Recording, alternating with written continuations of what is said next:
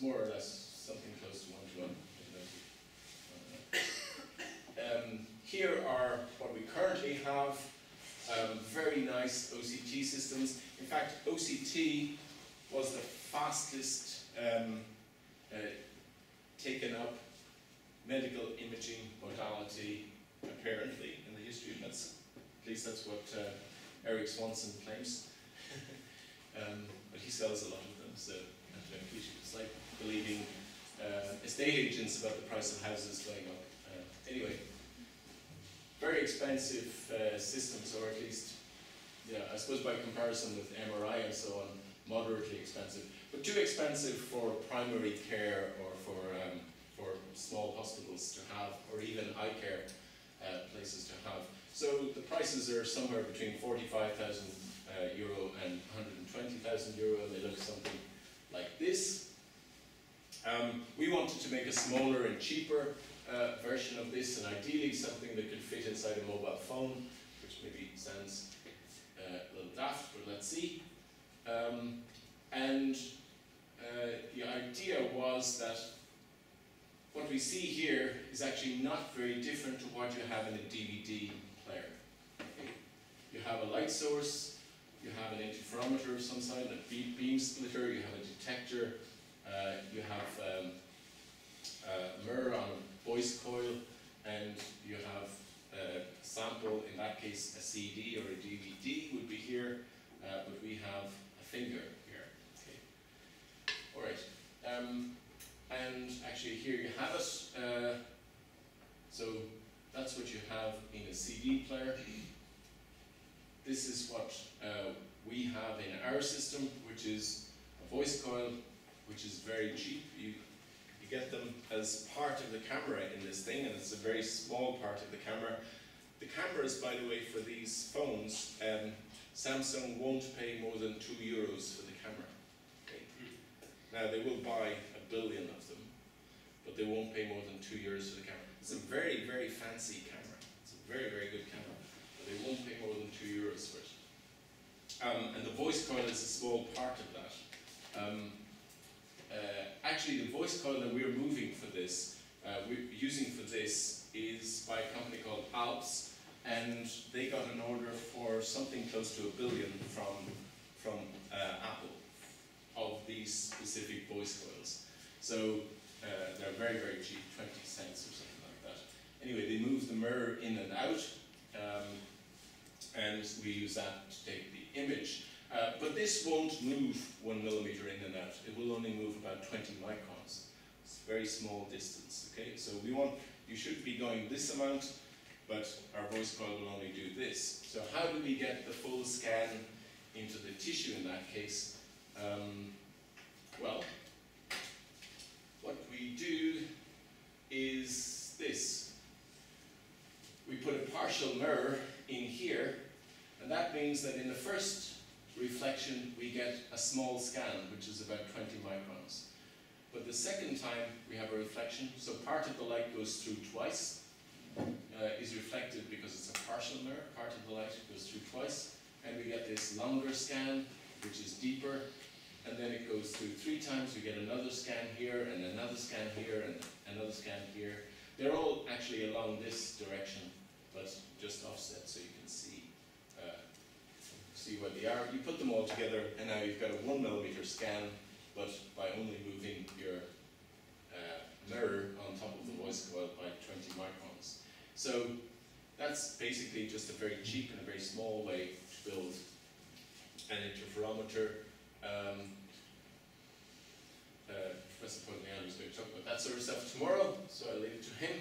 But uh, so the kinds of things you can use this for are uh, dermoscopy. So here, typically what you see on the surface of uh, the tissue, is some kind of mark like this, and the question is, is that just a freckle or some kind of uh, natural mark, or is it really uh, part of a melanoma? And if you look at the surface, it's hard to tell. What you're really worried about is that this um, melanoma is deeper in the tissue, and if it's deeper and it has gone through the dermal epidermal uh, junction, uh, it might metastasize, it might move to other organs. And that's what kills you. It's not the tumor here, it's the movement to other organs that's going to kill you. So how do you know from this dermoscope image uh, whether that is deeper or not? You just see um, some kind of image. Well, if you combine a dermoscope with OCT, you can pick any point on here and you can look at, uh, look for the melanin and you can see where uh, in the depth is that and what is the structure underneath.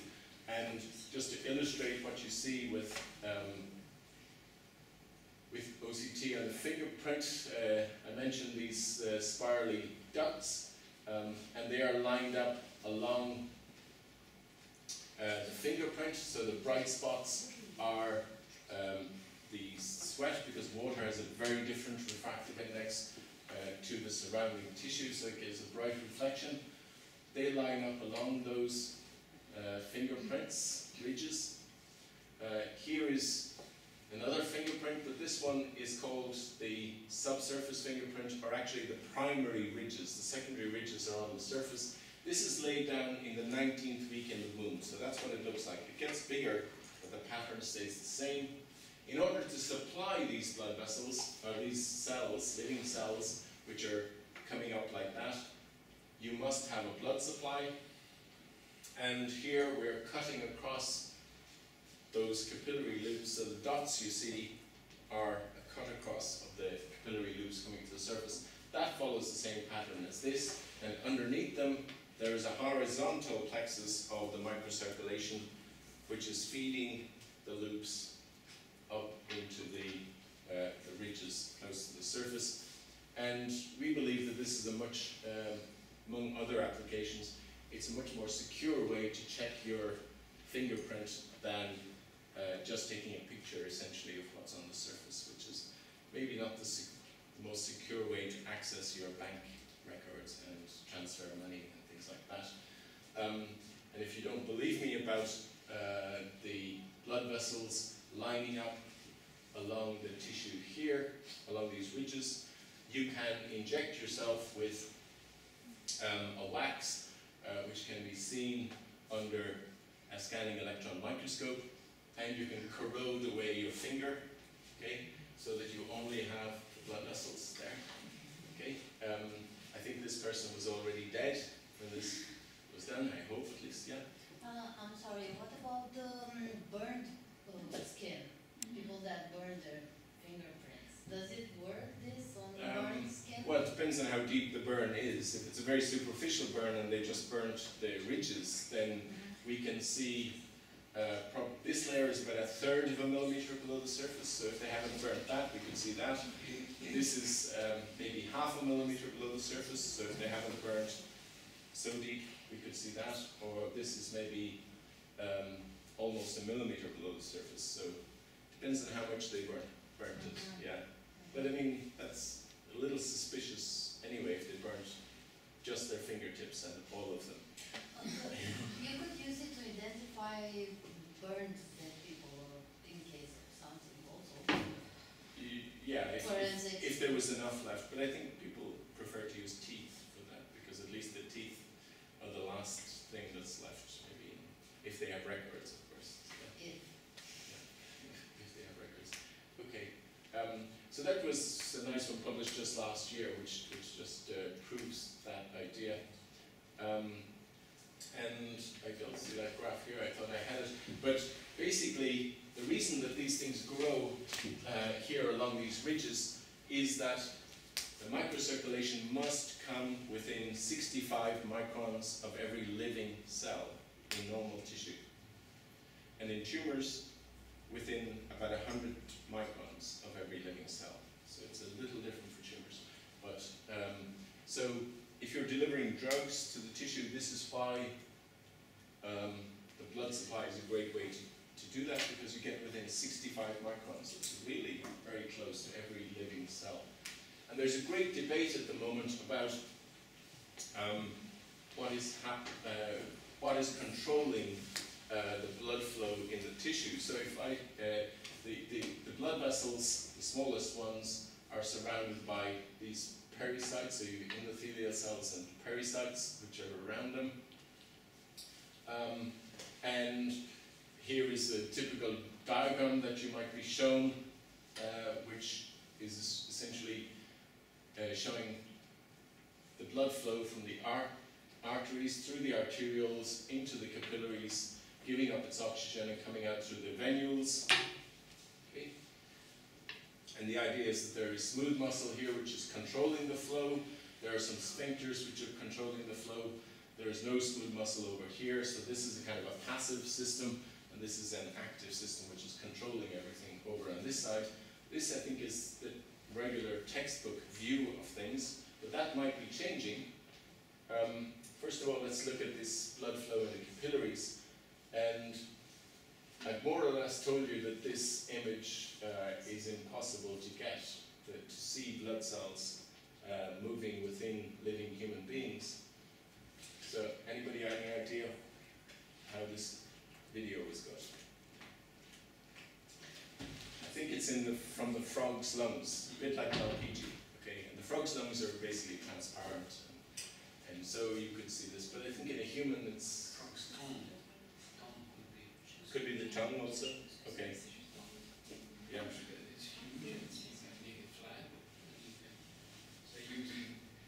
So you could see something like this, yeah. But in, is there anywhere in a human being you you can see this? I think it's very difficult. Maybe in the conjunctive fat. But then you, you would see something, but I don't think you would see really the, the shape of the cells. Ah, here's the diagram I wanted to show you. Um, it was produced a few years ago in PNAS, and uh, they measured the frequency of voxels that had moving um, blood, and they found that in normal tissue, you see there's this rapid fall off at around 65 microns. So cells don't live more than 65 microns from, um, from the microcirculation, except in tumors, um, but maybe they only live a short time, uh, because tumors are growing rapidly, and you know that they grow in the penumbra, and maybe the cells they're talking about here are not really so close. So maybe it's almost the same thing. In any case, um, I think this is important to know that you have these vessels um, in these areas. I want to say a few words if I have time about, do I have time? About, um, I'm on a different clock here, so I don't know what that means.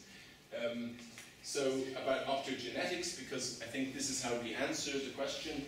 Um, probably optogenetics will, will tell us how the brain is wired as well, but uh, from the microcirculation point of view, it is important. Um, it's interesting that uh, when people talk about optogenetics, there have been some publications going right back to the 1970s, um, and it's all based on the idea of using opsins, and opsins are actually in the cells that uh, detect light in your eye. So optogenetics works uh, very much like the way the cells in your eye already work to detect light and convert it into electrical um, signals. Um, in the case of optogenetics, you are genetically modifying cells like neuron cells, brain cells, and uh, you are able to turn them on and off depending on uh, the color of light that you shine? So, and that's important because if you want to know how the brain is wired, if you can turn specific neurons on, figure out what they do, what do they not do when you turn them off? Like what can you or what can the rat or mouse not do when you turn it off? Tells you really what that part of the brain is being used for or what that specific um, neurons, neural cell is doing.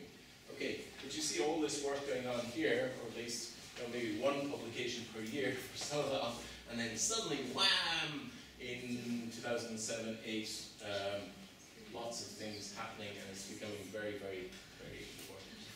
Okay. Um, how does it work? Well, you have um, an opsin, uh, which is a light-sensitive protein. Um, you get that from an algae, and uh, you take the gene from the protein, and then you insert it into DNA, or insert the DNA from the gene uh, from this into specific neurons, the neurons you want to study in the brain.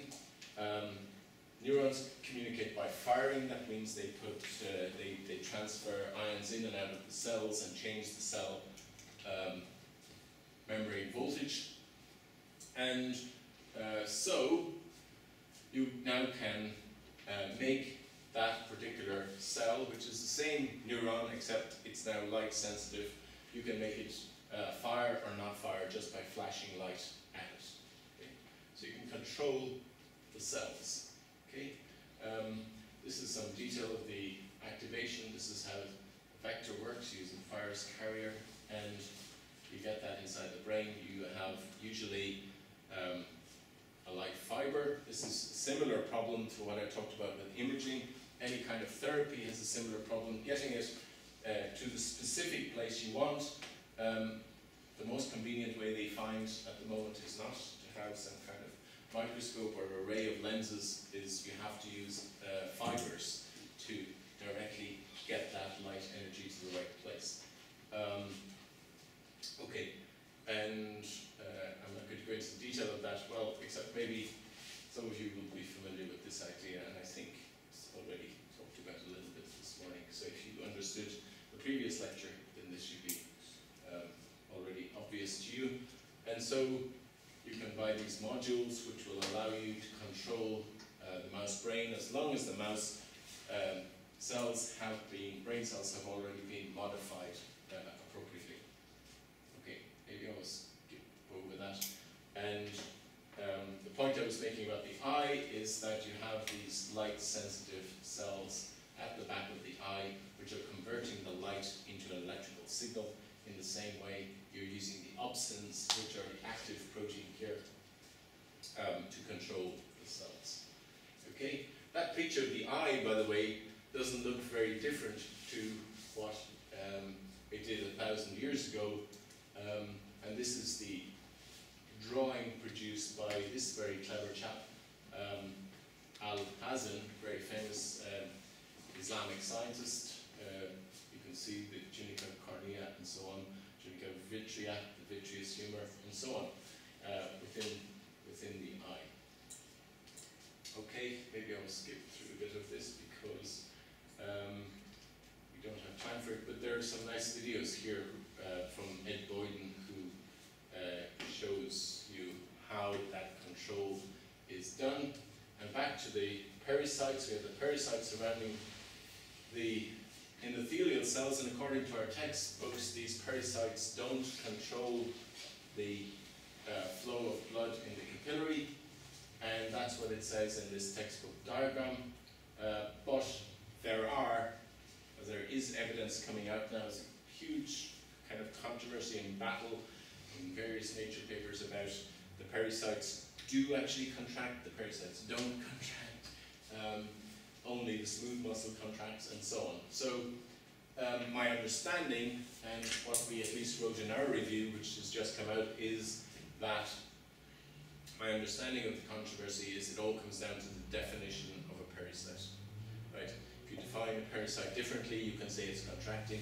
If you say this is a pericyte, you say, well, this one is not contracting, and therefore it doesn't happen. So somebody has to take control of the situation and uh, talk about the pericytes. So um, the way we got the images uh, of blood flow from OCT was basically we would take consecutive images. Uh, the bit that's moving, you see here, is flow.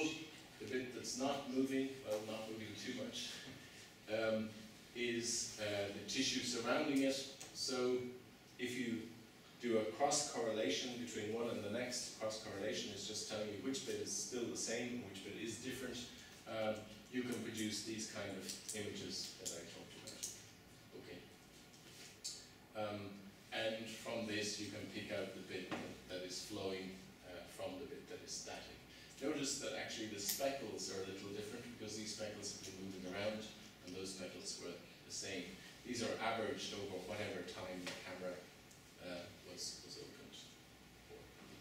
Okay, and that's just detail of it. We take three pixels by three pixels um, and produce uh, one pixel. So three by three from that image, the same three by three from an image, uh, some fraction of a second later and compare the two together and produce this uh, image, which is just a measure of how well correlated it is. If it's highly correlated, it's not flowing. If it's if it's not similar to what it was in the previous image, it has moved, and therefore it's, uh, in our case, a moving blood cell. And we mask it out and pick out this moving cells, and we can do that at various depths in the tissue. So the nice thing about OCT is you can slice up different depths below the surface. Okay? And what we see looks very much like what you see uh, in textbooks. And you can use this kind of thing for looking at psoriasis, for example. That's what a blood vessel might look like in the uh, normal OCT image. Uh, what's useful with uh, this kind of processing is that you can see all of the blood vessels and uh, some nice as well. Um, this is how healthy tissue looks like. This is how the blood vessels, the knotted blood vessels that you have in a plaque of psoriasis looks like. Okay. Um, that's what the blood vessels look like on this little piece of skin that comes across the top of your nail. And here was one of the first videos that we did of uh, an arterial occlusion. So you see the blood vessels, the blood in the blood vessels here. When you occlude the brachial artery, it goes down and then it comes back up again and you get a reactive hyperemia. You can look at that in an individual vessel. Um, and come back and you get, you see it's actually a higher intensity when it comes back. And you can look at a reactive hyperemia at different depths, but I still haven't found any use for that, so I'm still looking. Um, okay, so I've talked to you about all these uh, different techniques, possibly except photoacoustic uh, tomography, where we can produce images that look like that. With the OCT, we looked in this region. With the photoacoustic tomography, we looked in that region.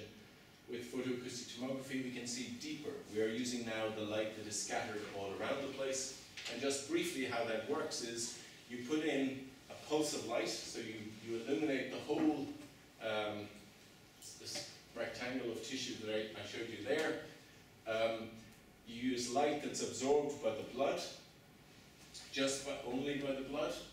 Um, you have a very short pulse, and when it's absorbed by the blood, it vibrates the vessel. So you put in a pulse of light, bang, you get a, um, a vibration, actually of all frequencies. I woke a couple of people up there, sorry. Um, uh, you get a vibration, which is all the frequencies. And then everything else is ultrasound. You just listen to what comes back with the ultrasound. So you vibrate the blood vessels and you listen with the ultrasound.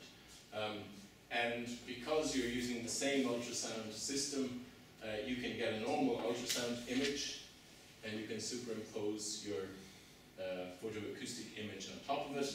And why is it important? Well, light has a contrast which is about 200 times better than ultrasound, so you can, instead of these grainy grey images, you can get quite, well, those ones don't look so bright, but the idea is that you have um, much better contrast of the blood vessels than you would normally. You can also get slightly better resolution. To improve the resolution, you can use higher frequencies, but um, just like I say in all of the imaging techniques, you, get, you use higher frequency of ultrasound, um, the ultrasound just doesn't penetrate uh, deeply into the skin. So once you get to 40 megahertz, you only see about two millimeters into the skin. Um, and so the resolution is not breaking this, this uh, 200 pixel limit, and you can use different wavelengths. And so the really important thing of photoacoustics is that it's spectroscopic. It's like spectroscopic ultrasound. So you can pick out oxyhemoglobin and deoxyhemoglobin. You can measure the amount of oxygen in the blood. Um, if you have uh, melanin, you can look at, uh, oh, maybe I don't have that there. Um, you can look at uh, uh, melanoma and see how deep it is. And now with photoacoustics, you can see maybe 10 millimeters into the tissue. Not with very good resolution, but good enough uh, for this job and see whether it has uh, penetrated too deeply. Okay, so the other um, thing, maybe I should skip this because, because uh, Adrian will talk a lot about OCT tomorrow. Um, the only thing we have done here that's maybe a little different is, is to look at the small blood vessels from inside the coronary artery, looking to find small blood vessels uh, in uh, the vasa vasorum, the, the vessel wall, um, because we believe that that might be indicative of whether that particular plaque is a problem. And this is a summary of what I talked about uh, today, and that's one of the most important things I wanted to get across to you. If somebody wants to sell you um, an imaging system that is um, that's, that's giving you one micron resolution and sees one millimeter or more than one millimeter into the tissue, uh, you should really ask them, uh, is that really possible? And usually the answer is that it will give you one micron resolution, but only when you're looking at this depth. Once you look at that depth, the resolution has got worse. Okay? So they're talking about two different things. You get you do get this resolution, but only when you're looking close. You do see that deep, but then you don't get that resolution. Be very careful that you know if your project requires um, something over here, which many people would like, um, you're highly unlikely to get it. And thank you very much for being so patient.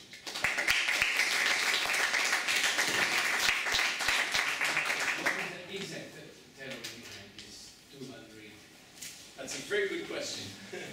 so um, my idea behind this is that uh, I think I have a job. Um, I think that what's happening is that uh, if you if you look into any kind of scattering tissue, so the, the light is, is going is going around and it's being scattered every couple of hundred microns. Uh, so you, the deeper you go, you have less and less of these photons that are going in and coming straight back. And so if this is the surface of the tissue, in order to get a good, so that your signal to noise gets worse and worse as you go down here. So you have more noise and, and uh, less signal as you go deep. So you can get sufficient signal to noise on that sort of square close to the surface in order to get sufficient signal to noise deeper, you need to integrate over this, or add up this much bigger voxel. Uh, a voxel is a, a 3D pixel, a 3D volume element. Uh, and in order to see deeper again, you need to integrate over that. So, um, the signal to noise, what we call, physicists call a point spread function. So, um, Anyways, uh, point spread function is something that, that looks like that. Is um, it's getting bigger as you are going deeper into the, into the tissue. And so that general principle, despite the fact that these are extraordinarily different techniques, um, seems to hold hold true right across these these different imaging techniques. But if, if am, am, I, uh, right with this super resolution, they need something funny because they okay, you, you have a nice image, but calculate back because of the random sca- random scattering.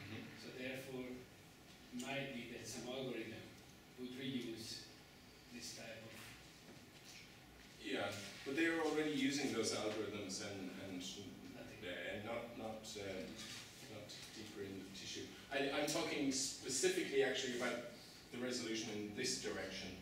Um, I think it's easier to, to do it to improve the one in this direction.